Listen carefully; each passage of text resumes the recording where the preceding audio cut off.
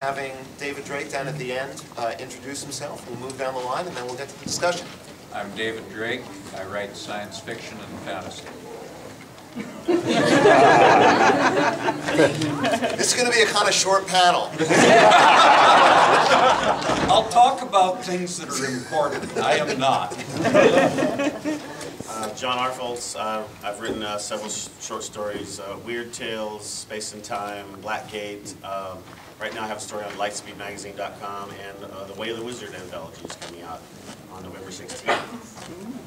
I'm Blake Charlton, and to date I've written what I consider hard fantasy. Some people don't like that term, but I like it, and I've written some hard science fiction. Uh, my name is David B. Coe. Uh, I've written uh, 11 epic fantasies, uh, depending upon your definition of those. We'll get to that in a minute. Um, and I most recently wrote the novelization of the uh, Ridley Scott, um, Russell Crowe Robin Hi, I'm Freda Warrington. Um, I've written nearly 20 novels uh, of varying different, different, some of which have been epic style fantasy, sword and sorcery. Um, the Amber Citadel was a little epic but different. And I'm currently writing for Tor, um, uh, Elfland and Midsummer Night, which is coming out on the Washington River. I think it bears saying, just, just as a trivia matter, that the three of us all write for the same editor at Tor, and it's quite interesting that we all ended up on this panel. Um, John posted on his blog not that long ago a discussion of this coming panel, um, and in part he spoke about defining epic fantasy and sword and sorcery. And I think this is something that we should discuss before we move on with the rest of the conversation, because there's a panel right after this one, possibly even in this room, on sword and sorcery. And so obviously somebody's making a distinction between epic or high fantasy and sword and sorcery. And I think if we're going to discuss commercial viability or one or the other of those, we ought to first get a definition. So John, I was wondering if you might kick us off uh, talking about that a little bit. Well, it's an ongoing discussion. Um, is, is epic fantasy sword and sorcery if it features both swords and sorcery? And, and the major answer to that is no, that I hear, generally. No, no, Lord of the Rings isn't sword and sorcery. It has sword and sorcery moments, right? Conan's not high fantasy, heroic fantasy, it's sword and sorcery. So it, it's an argument that, that really there's no certain answer to it. It's kind of like, um, you know, it, wa- was that a good movie or a bad movie? Well, it depends who you ask. Is that epic fantasy or sword and sorcery? It depends who you ask. But in general, the epic fantasy is, is fantasy that is epic in scope. It's, it's huge and it's, it involves nations and armies and, and worlds and, and it's on a vast scope. And in general, sword and sorcery, in general, is more, more on a personal scope, I think. Um, but then again, great writers have broken those rules time and time again. Um, Moorcock's Elric series is on a vast scope, but it's definitely sword and sorcery.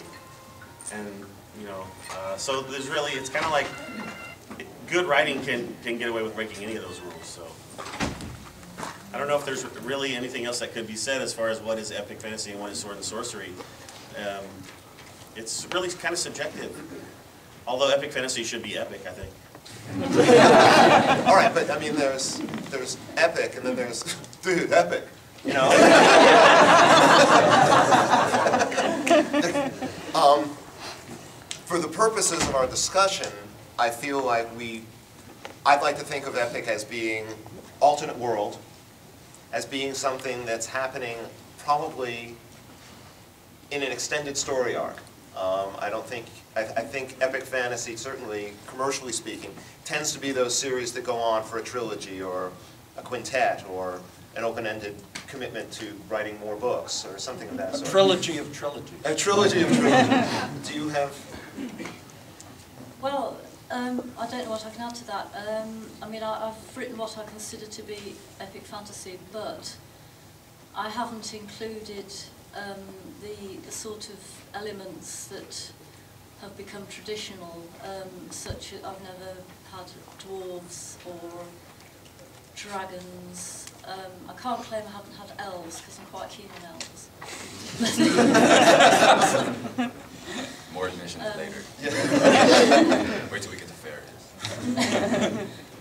I don't know, I mean, my my, the earliest books I had published were, I consider Sword and Sorcery, but I also consider them epic fantasy because they're about saving the world, so, I don't know, it's blurry, which is good. I once had an argument with someone about epic fantasy always has to involve saving the world. And I I argued, no, it doesn't.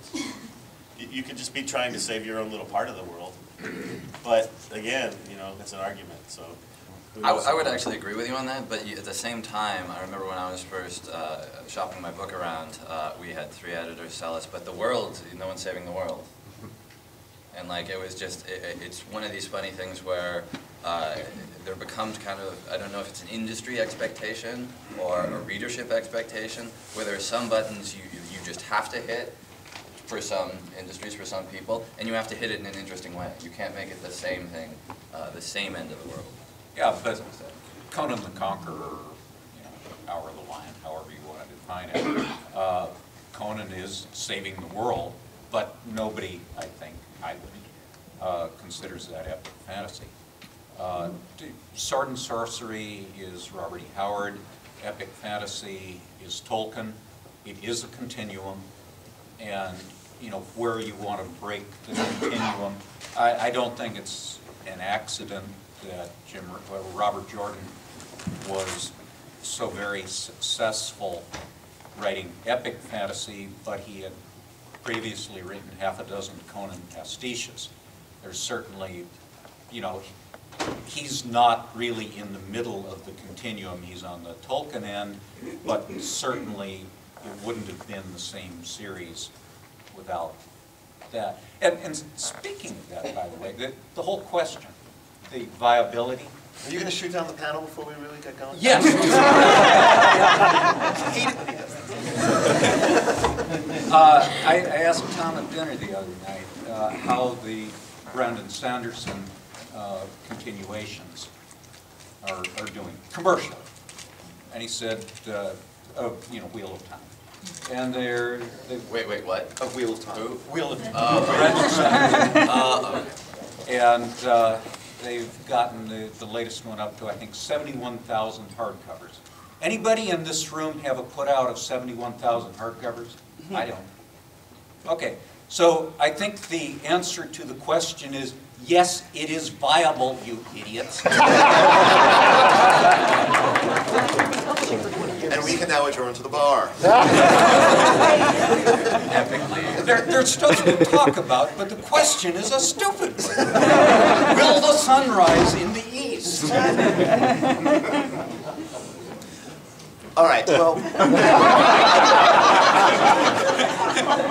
I'm thinking no. Well, maybe the panel is, why is it still viable? Why do we love it so much? Well, I think, I think that there is a why question too, but I think there is also a matter of, I broke in as a low mid-list writer in the mid-1990s, writing epic fantasy and churning out books that were 200,000 words long. I couldn't do that today. And so I think that saying that the continuation of the Wheel of Time is viable is absolutely true, but I'm not sure that that proves the point, because the point has to have more leg than that. It has to be able to go down, and is there a viable mid-list future for epic fantasy?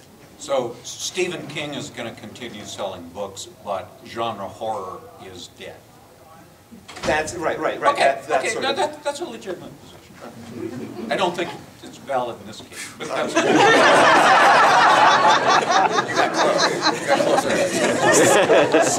I got a stay of execution, all right. All right, well, let's break down, let's break down the subgenre a little bit into its component points. Let's talk for a minute about extended story arc. And how is extended story arc doing in the market today versus a series of standalone books? And is if epic fantasy is going to be, continue to be viable for beginning writers, for mid-list writers, are they going to have to look at a different way of structuring the stories that they're telling? And I'm. I'm looking, looking, I'm looking at anyone. That's, yeah, that, that's actually a really good point because um, I've, you know, I've wondered how far you can stray from the you know, the real cliches of, of fantasy, the, the elves, the dwarves, the, the orcs, the dragons, etc., etc., and still have a really, you know, commercially successful product. Uh, product. Product is the right word, I think. Yeah, that was a bit of a Freudian if we're slip. talking commercial, product is the right word. Yeah. Um, I wrote a trilogy, uh, The Amber Citadel, The Sapphire Throne, The Obsidian Tower, which um, I, I, I, wanted, I wanted it to be an epic fantasy in order to, you know, do reasonably well, but at the same time I wanted to try and avoid all the cliches of epic fantasy, um, which I don't know whether I succeeded. Um, but yeah, I, I'm really interested to know how far you can stray away from what the readers seem to expect um, and still be successful with it. Um, and the, pro- the problem I found with publishers is that they'll really push the first book, but when the second book comes out and when the third book comes out, they won't make quite so much effort. And the readers go to the shop and they can't, they can, they can find book two or they can find book three, but because they can't find book one, they won't buy it. Um, so what I'm doing now is um, standalone books, although they're linked by the same background and some of the characters cross over, each story is separate. And they might weave together a little bit, but I'm trying to keep each one separate so you can just pick anything up. And I don't know if that's the way to go, but it's the way I'm trying to go at the moment. It's actually the way I'm going with my next project as well. And that's what I've always done. Uh, remember, I started out writing short stories for magazines. You know, the, I, I became famous, famous for the Hammer Slammer series. As a matter of fact, the Hammer Slammer series became famous, I did not. No, no, no, that, that's really true. I, I had a case in the eighties where I was introduced, um, to a sales manager, and, hi, this is David Drake he wrote Hammer's Slammers. Oh! And, but these were written from magazines. And the fact there was a story in the October issue, uh, and there was another story in the January issue of the next year, there was absolutely no reason to assume that the reader of the January issue would have read the October, the previous October issue. Every story had to be a standalone. And it was nonetheless a series. Uh, And, and this was standard. I mean, it, it's not that I invented this or anything, but there is no reason you can't have a consistent series in which every element is a standalone, and I've, I've tried to do that. Uh, Will you get more if you read the whole thing? Well, yes, if I've done it right. But do you have to read the whole thing? And I, I've been really pleased when people have told me, oh, you know, I just read such and such. I really liked it. And I said, did you know that that's the second book of a trilogy? No, was it? And that's exactly the right reaction, uh, you know. So I've, I've been doing this for a long time, and no, it's not a new problem. Now, Blake, your series is more of an extended story arc, isn't it? Yeah, it's, uh, so I've only written a book, so I probably shouldn't make too many generalizations. The second one's about to come out this Well, summer, there but. you go, you're an expert. But so it is an extended story arc, but what, uh, what I'm really interested in doing is trying to take epic fantasy and uh, kind of mash it up with, with some different things. So there's a lot of uh, scientifically based, uh, there's a magic system which is very heavily scientifically based. But uh, talking about story arc and the extended story arc, uh, I get actually pretty bothered by this series that like propose to epic and then flirt with endless at the like rehearsal dinner. That drives me nuts. So every single one of my books takes a a place over like three or four days. Uh, and for and I get some heat about that. You can't have epic fantasy that doesn't last, you know, for long amounts of time. Some people say, uh, but you know, I I read a lot of murder mysteries and thrillers, and they take place in three or four days, and you know, you don't need to travel to the far north and wait two months to, to find the next. And you uh, could read clip. one Miss Marple mystery and not know there were 50 others, or however many there are. You know, that, there's no, that's a perfectly viable form and has been in lots of genres.